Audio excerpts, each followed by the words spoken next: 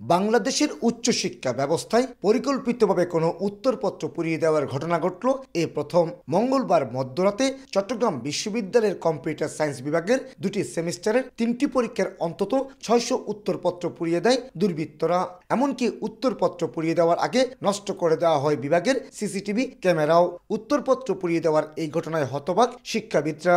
চক্রান্ত করে খাতা পোড়ানো বা খাতা নষ্ট করা, এটা কিন্তু আমার প্রায় অর্ধ শতাব্দীর বেশি যে শিক্ষকতা জীবন বিশ্ববিদ্যালয়ে শিক্ষকতা জীবন কখনো দেখিনি। প্রধানত তিনটি কারণে উত্তরপত্র পুড়িয়ে দেওয়া হতে পারে বলে ধারণা করছেন বিশ্ববিদ্যালয়ের উপাচার্য। এর মধ্যে বিশ্ববিদ্যালয়ে অস্থিরতা সৃষ্টির জন্য নাশকতাকেই অন্যতম প্রধান কারণ হিসেবেই দেখছেন তিনি।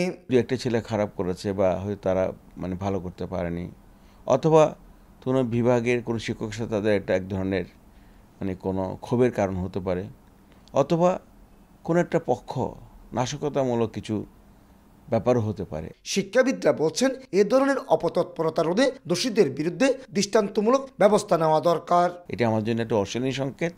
তা এখন বিশ্ববিদ্যালয় সকল বিশ্ববিদ্যালয় শুধু চট্টগ্রাম বিশ্ববিদ্যালয় নয় প্রত্যেক বিশ্ববিদ্যালয়ে কিন্তু এই ধরনের ঘটনা ঘটার সমূহ সম্ভাবনা রয়েছে। এটা তো খুবই দুঃখজনক। এট- এটির সঙ্গে যিনিই যুক্ত থাকুন এর ব্যাপারে খুবই কঠোর ব্যবস্থা গ্রহণ করা উচিত। এই ঘটনায় জীববিজ্ঞান অনুষদের ডিন অধ্যাপক ডক্টর মাহবুবুর রহমানকে প্রদান করে তিন সদস্যের একটি তদন্ত কমিটি গঠন করেছে বিশ্ববিদ্যালয় প্রশাসন। পাঁচ দিনের মধ্যে এই কমিটিকে রিপোর্ট দিতে বলা হয়েছে। এটা নেহায়েতি কোনো নাশকতা নাকি একটি পরিকল্পিত বিষয়?